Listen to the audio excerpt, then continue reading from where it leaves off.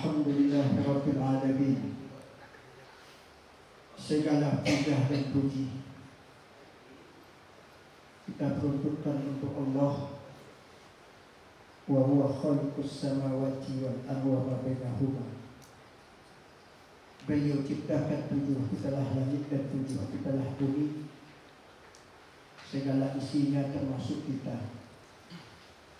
Wa ilaihi rojiun semuanya kembali kepada Allah. Wassalatu wassalam ucapan selawat. Mengucapkan selawat seperti mengisi uang tabungan seketika kita menjadi nasabah. Siapa yang berselawat kepadaku kata Nabi maka aku beri dia margin sepuluh kali lipat. Kemudian aku berikan syafaat tiket untuk masuk surga. Maka oleh sebab demikian kita baca Allahumma sholli ala Sayyidina Muhammad. Walaupun beliau tak kenal dengan kita, kita tak sekampung dengan beliau, tidak mama kita, tidak paman kita, tapi seketika kita membaca selawat beliau sudah tahu dengan kita Bismillahirrahmanirrahim wa minhum man ahadallah.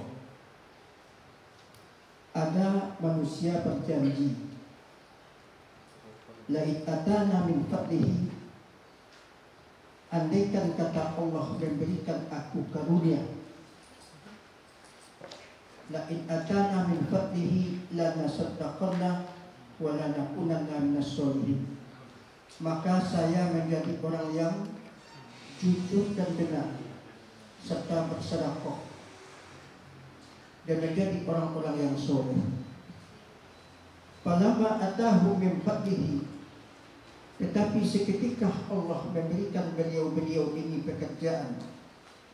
Dapat gaji menjadi PNS, menjadi dosen, menjadi guru, aparat negara, bahkan pejabat negara, bakhilubi mereka menjadi orang-orang yang bakhil watawallau bahkan menantang Allah. Dia tantang Allah. Wahum muqridun mereka inilah orang-orang yang berbakar Subhanaka la ilma lana illa ma innaka antal alimul hakim. Saya tak punya ilmu. Kepada Allah lah aku bermohon semoga apa yang saya sampaikan yang penting barokah. Keberkahan itulah yang penting uang banyak pekerjaan ada dapat anak tapi tak barokah apa itu keberkahan ja'alallahu syai'an khairan apa yang kita dapati menjadi kebaikan itu barokah tapi kalau tak dapat kebaikan itu laknat. Ada orang menjadi dosen Pak, tapi Islam dicaci maki Pak. Ilmu banyak, uang banyak, bahkan jadi bazar. Nauzubillahi min Bapak-bapak, ibu-ibu, sebenarnya bukan saya yang ceramah, tapi kanda saya Ustaz Fajrilansah tapi karena beliau mungkin ada halangan, tadi saya ditelepon. Saya sedang ngajar di Unsuskah uh, S1, saya juga ngajar S2 dan S3. Yang belum saya ajar itu S-Pokat.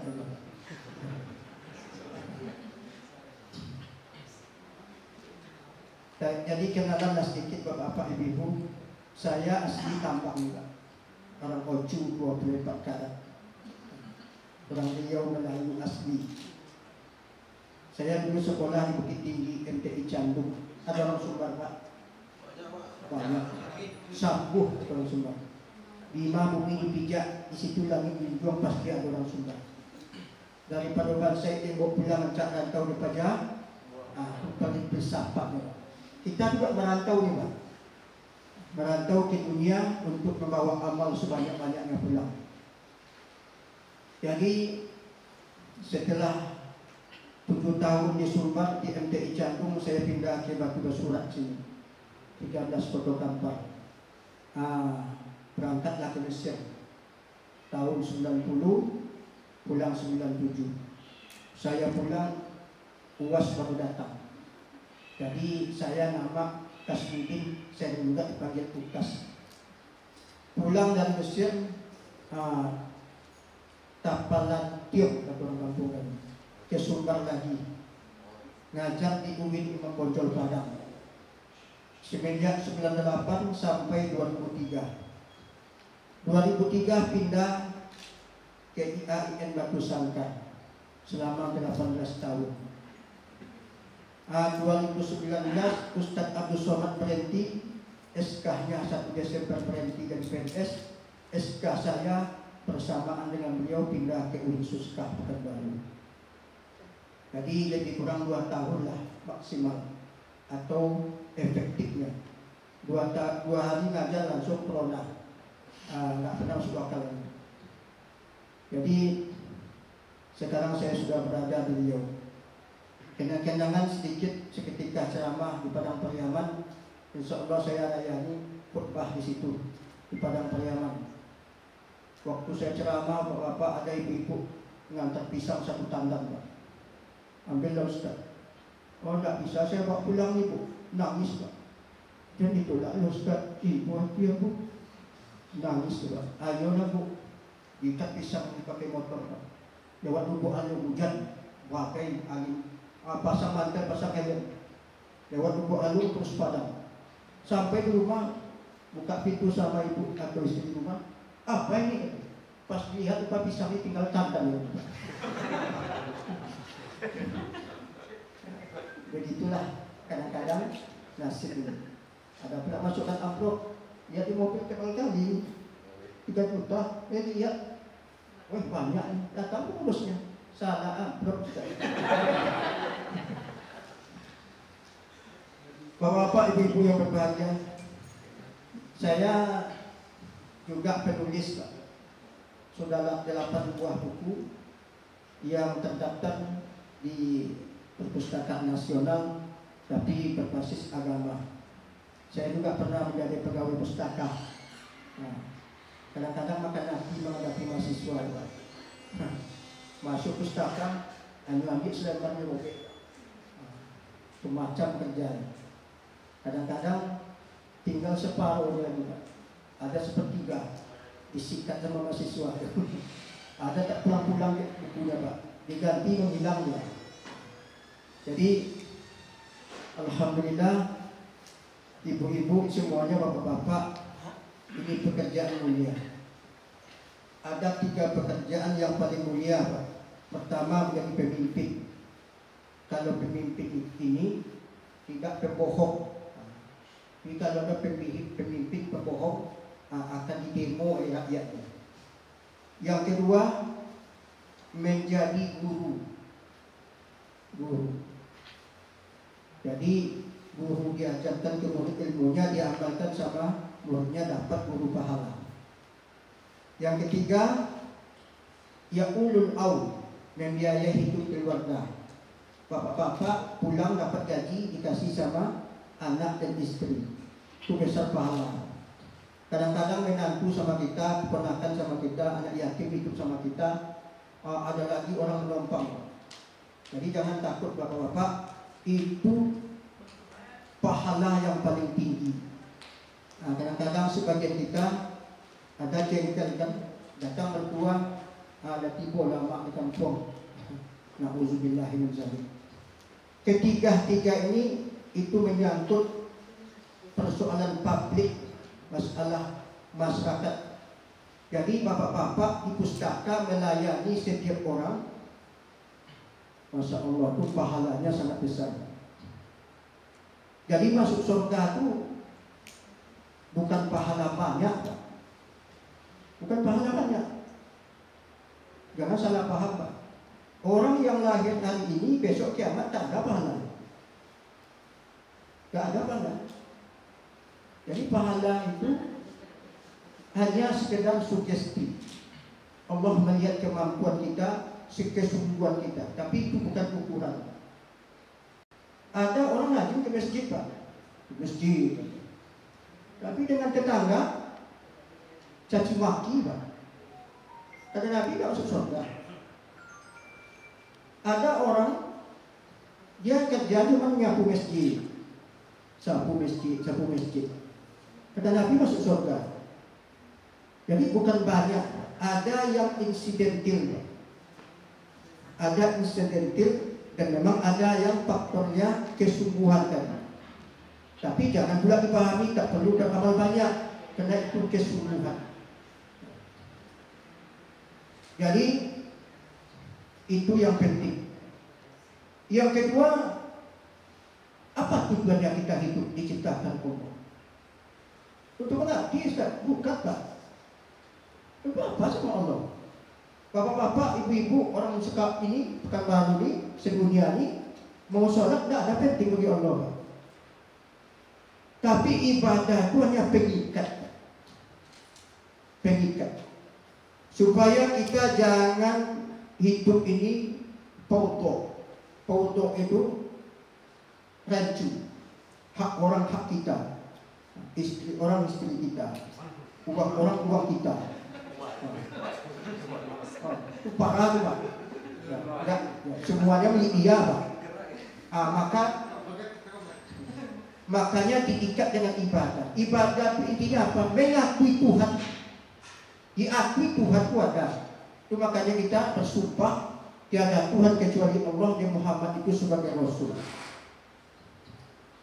Jadi apa tujuannya Allah menciptakan kita? Membagi-bagi hidup. Dia bagi-bagi hidupnya. Andaikan kata kita nanti masuk neraka, itulah wajar juga kita mensyukuri segala nikmat Allah. Apa sebabnya? Apa kita hidup kita? La ilaha illallah. Ini tujuan yang sungguhnya. Allah hendak membagi-bagi hidup. Bu, saya mau nanya. Ibu-ibu kalau tak ada nikah bisa nggak beranak? Termenung ibu-ibu. Tak bisa Ustaz? Bisa. Apa tak bisa? Jadi nikah itu tak lebih dari hiburan. Aku beratkan kalian dengan ibadah supaya bangun tengah malam ah, seperti ini, sholat lagi. Ah, supaya kalian jangan susu aku kasih hiburan. Nikahlah kalian. Kalaupun tak nikah bisa orang beranak. Siti Maryam tak ada suami bisa beranak kalau Allah menghendaki. Nah, sekarang banyak pula orang tak ada suami ada juga anak. Tapi anak hak, anak haram. Ah, itu dia Pak. Jadi Allah menjadikan kita tidak lain membagi-bagi hidup. Maka kita mensyukuri hidup yang diberikan Allah. Kalau disyukuri hidup yang sekali ini ada hidup kedua. Bapak yakin tidak ada hidup ini? Ada orang yang mungkin karena dari kecil Pak, bapaknya presiden sampai besar, tak pernah duduk dengan ulama, dia hidup dengan orang-orang hebatnya semua Pak. Nah, sampai-sampai dia melakukan entah ada surga atau tidak. Nauzubillah Saya yakin ada. Apa buktinya? Hidup ini ada. Kalau hidup ini tak ada, tak yakin aku ada akhirat. Tapi karena hidup ini ada, yakinlah saya akhirat itu ada.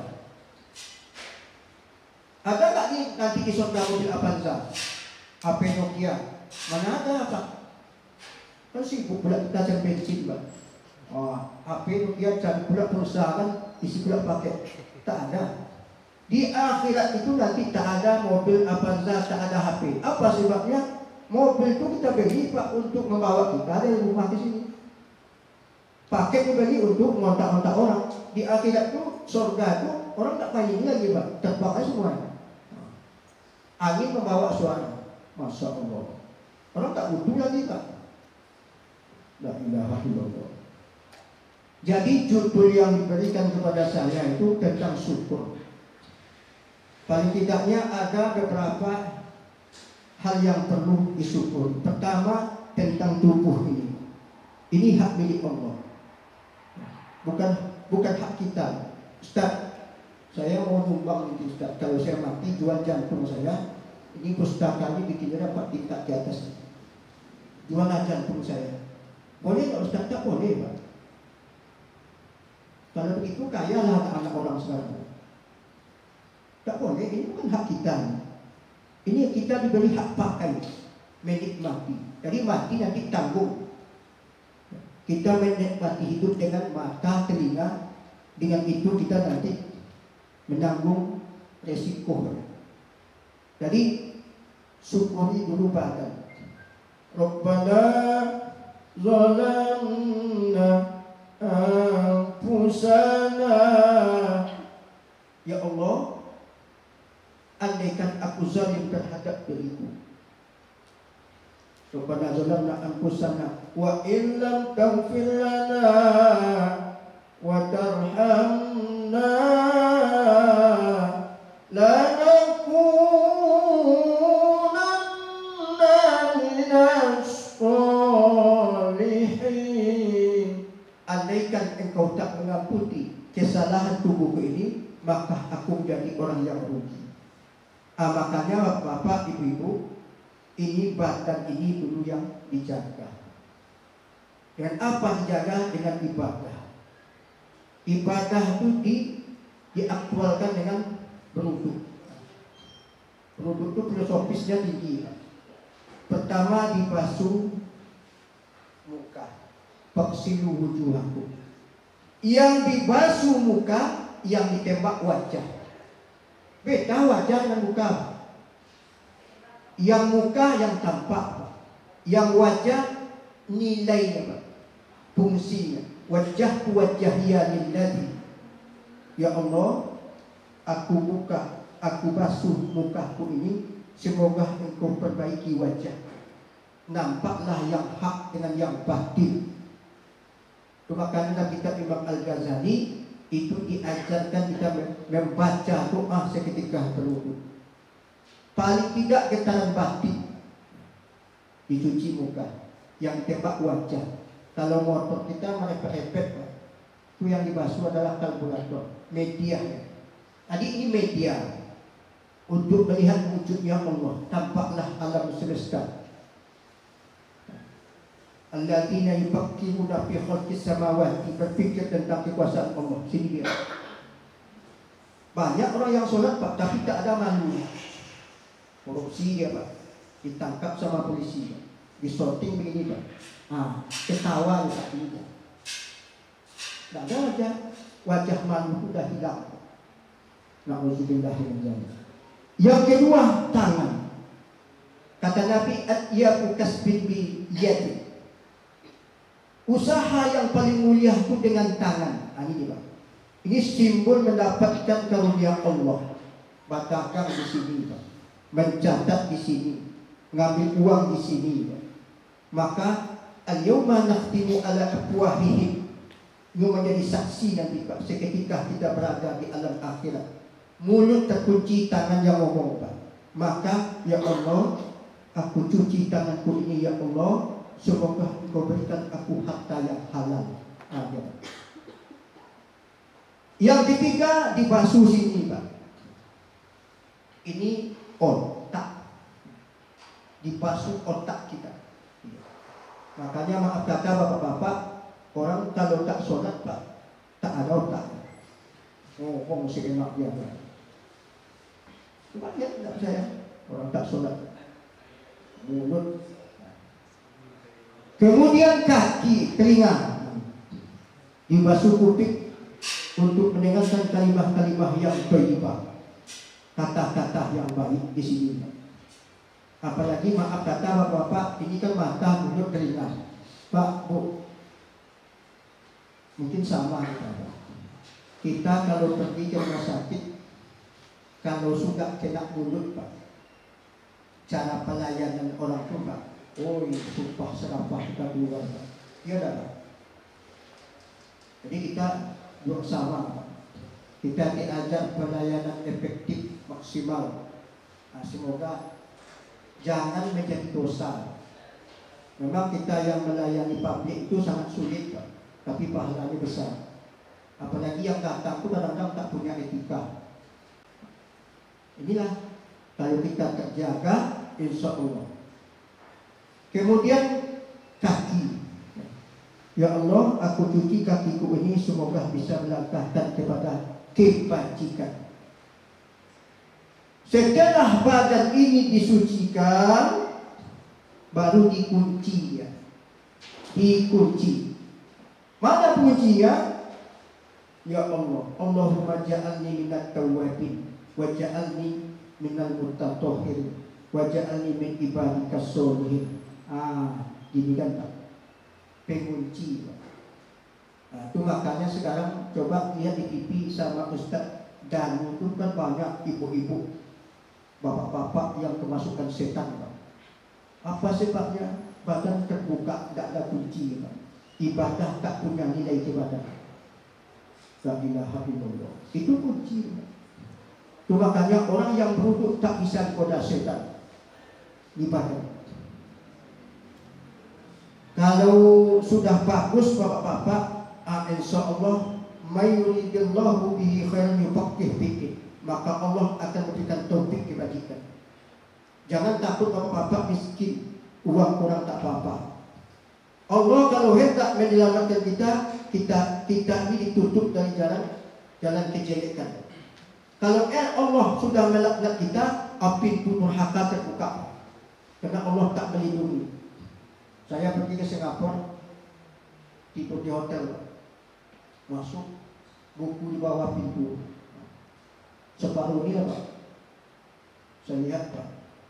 Saya kira apa tadi menu-menu makan lupa menu perempuan Pak. India, Cina, cukup semua itu Pak. Satu malam berapa? Nomor telepon ada. Untung saya tak punya uang. Kalau punya uang gimana? Tentu lain pikirannya. Makanya Allah kalau hendak melindungi kita, dia tutup jalan.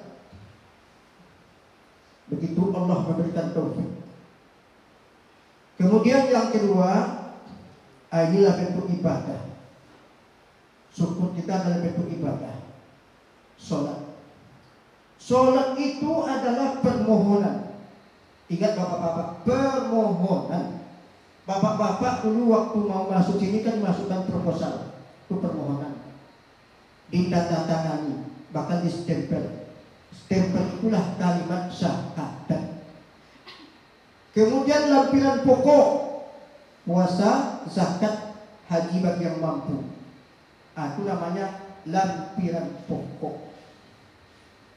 Permohonan kita kepada Allah. Ya Allah, apa kata kita membuktikan kita syukur? Inna solati wa nusuki wa mahyaya wa mamati lillahi rabbil alamin. Segala apa pun yang saya lakukan adalah untuk Allah Subhanahu wa taala. Ibu-ibu kalau masak di rumah tidak perlu pakai niat. Sengaja aku potong bawang membuat sambal suamiku lillahi ta'ala. Tidak ah, perlu. Nyuci kain. Sengaja aku mencuci kain suamiku lillahi ta'ala. Tak perlu. Tapi menjadi aman ibadah. Di mana letaknya? Seketika ibu mengatakan inna solati wa nusuki wa mahyaya menjadi ibadah. Bapak-bapak pergi ke, ke apa? Ke kantor tak perlu pakai doa. Pas keluar rumah sengaja aku pergi ke kantor lillahi ta'ala. Tak penting Pak. Apa sebabnya? Karena niat sudah dipasang seketika sholat. Ah, buktikan. Setelah badan di kepermohonan disampaikan kepada Allah dibuktikan dengan puasa Ramadan. Nah, ini KKN. KKN membuktikan kalau memang anda-anda ini kata Allah, kalian semuanya ngomong dalam sholat untukku segala perbuatan kalian, coba buktikan. Berjalanlah, maka tahanlah mata, tahanlah telinga, tahanlah segala apa yang tak kubolehkan. Itu dia Pak. Dalam bentuk amal ibadah lima. Jadi puasa itu dengan sholat itu mau dididik oleh Allah. Orang tak mau sholat, tak mau puasa Ramadan, ini orang terbangkang Pak. Tak mau dididik oleh Allah Subhanahu wa taala. Kemudian dalam bentuk syukur nikmat air. La in syakartum la azidannakum wa la in kafartum inna azabi lasyadid. Ah, ini dia Pak. Yang banyak dipahami oleh sebagian orang. Ayat tadi itu Bapak-bapak ayat tentang saklapa. La in atana min fatihi lanasaddaqanna wa lanakunanna minas solihin. Ada di antara manusia. Dia berdoa. Kalau Allah berikan aku karunia, awaklah seperti itu dulu Pak. Andaikan dapat kerja, buka SI, akan bersedekah, akan berbuat kebajikan. Tetapi seketika Allah memberikan dia karunia, tetapi dia berbangkang. Jadi saklapah itu bapak-bapak itu salah satu peristiwa orang tak pandai bersyukuri karunia Allah. Apa dia? Datang kepada Nabi mengaku dengan untayan air mata, wahai Rasulullah, doakanlah saya. Saya orang susah. Ke masjid kami ganti-ganti pakaian. Di dalam kitab bapak-bapak, seketika sahabat ini pergi ke masjid, maka istrinya rumah tak pakai baju pak. Lihat bos miskin tu orang pak, gak ada pak. Jadi satu kali Nabi berdoa sahabat, engkau kalau menjadi orang susah, sabar engkau mulia di sisi Allah. Seketika engkau tak pandai bersyukur di karunia Allah nanti, maka engkau celaka. Dinasehati oleh Nabi. Kau lihat rumahku sahabat apa ya? Kau lihat Adakah di sini TV 35 inci? Adakah kursi mimbar mobil Al-Fajr? Begitulah tidak apa Kau lihat tiketku hanya dalam beberapa korma. Minta kayakah engkau? Tidak malukah engkau kepada aku kata Nabi? Menangis dia Pak. Maafkan saya ya Rasul. Saya orang susah. Nyo dia hasut dia dulu Pak. Mintalah doa ke Nabi, mintalah doa ke Nabi. Karena satu kali, dua kali saat Nabi kasihan dikasihi Nabi Pak. Sebab Sa'labah ini pengembala kami. Nabi juga pengembala kami. Sekarang Sa'labah aku doakan engkau. Tapi jangan sekali-kali engkau tak pandai bersyukur di karunia Allah. Dikasih satu kambing jantan sama Nabi dan beliau sudah mendapat satu kambing perempuan upahan orang. Setelah itu berkembang bapak-bapak Leju ada kambing di kota Madinah itu pasti saklabah yang punya. Oh, sudah itu pindah kepada pasir Pak. Kalau zaman dahulu masa Allah kambing itu kekayaan. Oh, tidak datang-datang saklabah itu. Tak datang-datang. Dipanggil sama Nabi salah seorang ajaklah saklabah bersedekah. Bersedekah. Datang ya Pak sama sahabat.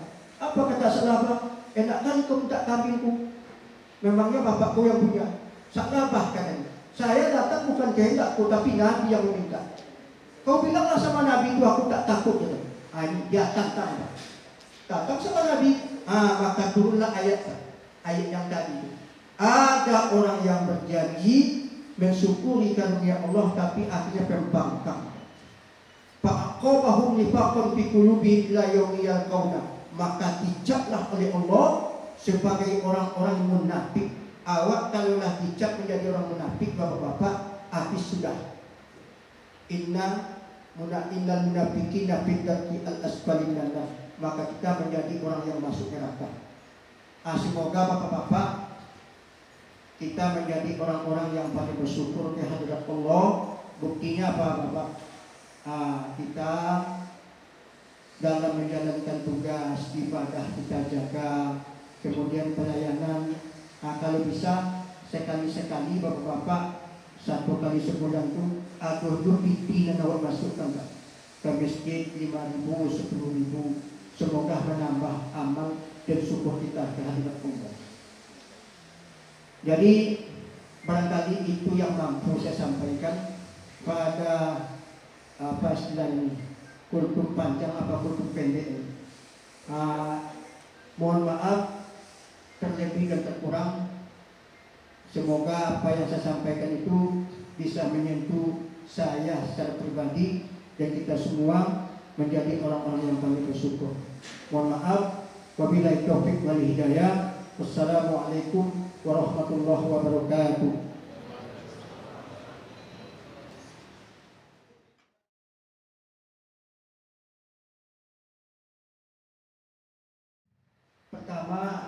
saya tidak sampaikan. Kita harus yakin bahwa kita itu masuk surga. Harus yakin. Kalau tak yakin itu apa kita sholat? Itu melakukan eksistensi kata Allah. Harus yakin. Saya yakin saya. Dalam hadis yang lain nanti sudah habis semua dosa ditagi ada kalimat la ilaha illallah itu dihargai cuman bedanya siapa yang duluan siapa yang kemudian. Tapi yang pasti orang yang pernah mengucapkan kalimat syahadat pasti masuk surga. Nah itu pertama. Saya yakin saya kalau tak yakin kita untuk apa kita sholat saya menerjemahkan rahmat itu Allah tersanjung. Ada orang amal ibadahnya banyak, tapi satu kali dia pernah menzolimi anaknya. Dengan satu itu membuat Allah habis tersanjungnya. Nah, itu yang saya pahami. Kenapa kita puasa Ramadan? Allahumma laka sumtu wa bika amantu wa ala rizkika abdatu bi rahmatika. Allah itu tersanjung. Seketika Allah tersanjung dengan satu perbuatan, maka itu membuat Allah sayang kepada kita.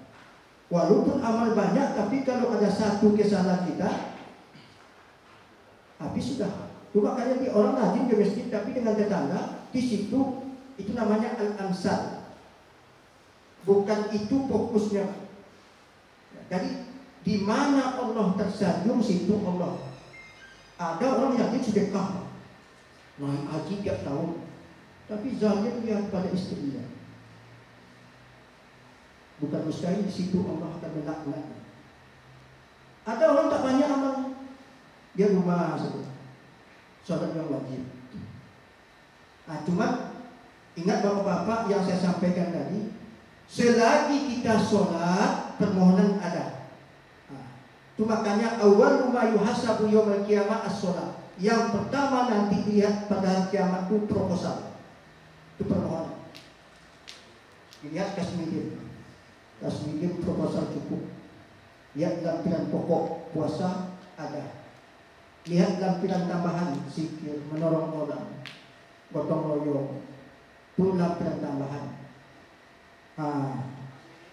Dilihat ke belakang lampiran, weh, rupanya pembohong juga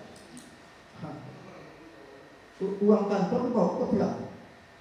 Rajin sholat ya. Di situ Allah mempertimbangkan. Itu makanya kita harus selalu minta kepada Allah ampunan. Ibu-ibu di supermarket itu pegawai-pegawai itu sembahyang semua, insya Allah. Tapi pergi ke, ke, ke masjid pakai rok pendek. Ah, sholat pakai mungkin nah, sudah sembahyang pakai mungkin apa pendek. Yang salah sholatnya apa enggak? Itu yang salah lampirannya. Enggak apa-apa dulu. Sambil jalan diperbaiki. Sambil jalan diperbaiki. Tapi kalau tak sembahyang, jangan berharap banyak. Semua amal ibadah habis. Tidak akan diterima Allah.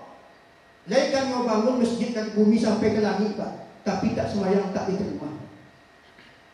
Masalah kakum pisahkan apa menyebabkan kamu masuk neraka? Lam naku minal muslimin tapi tak sembahyang. Tak ada senyum dengan orang. Ada Pak, itu sedekah, tapi tak punya nilai Pak. Itu makanya sholat itu permohonan. Tidak apa-apa. Kalau permohonan ada, maka rahmat Allah pasti akan ada. Di situ Allah akan mempertimbangkan. Makanya kita masuk surga nanti ada yang sifatnya plus. Terbang. Ada yang proses, Pak. Ah, makanya yang saya pahami itu rahmat Allah itu tersanjung. Walaupun amal sedikit tapi atas Allah tersanjung. Ah, bukan mustahil Pak Bapak ke masjid jalan. Tapi sembahyang ya, sholat pasti. Nah, dia biasa biasa Pak. Tapi seketika melayani orang datang membuat orang senang Pak. Allah tersanjung di situ Pak. Nah, jadi ah, itu yang kita cari Pak, item-item itu. Makanya kenapa ibadah itu harus banyak untuk mengisi item-item tadi. Ada orang masuk surga itu karena azan Pak. Ya rajin azan. Ada yang terbang titik yang sudah mustaqim. Apa sih Pak? Dia pengurus masjid. Jadi Ustaz pun tempo juga Pak. Kalau ada satu tidak tersanjung Allah, kami Ustaz ini bahaya lagi Pak. Jadi tidak ada cerita depan Allah itu nanti lobby-lobby tidak ada Pak. Ya. Konsolidasi tidak ada. Ah, gampang nanti Allah itu maha pengampun, tidak bisa pula seperti itu Pak. Jadi kita menghadapi Pak Gubernur, ah saya dengan beliau, aman nanti itu katanya, tidak bisa Pak. Jadi punya Pak, di mana Allah tersanjung, ah, itu yang kita cari. Bapak-bapak, ibu-ibu, kita bermohon kepada Allah, COVID dan Corona ini tak ada lagi. Kemudian kita sehat walafiat di rumah tangga harmonis, anak menjadi anak yang soleh, rezeki bertambah, kemudian kita mendapat حمد الله عليكم الله الفاتحة. بسم الله الرحمن الرحيم. إياك